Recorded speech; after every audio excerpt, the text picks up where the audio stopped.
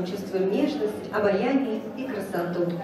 Танец живота во многом навеян мифами насыщенного пряными ароматами волшебного и таинственного Востока. Встречайте Мария Папандукулу.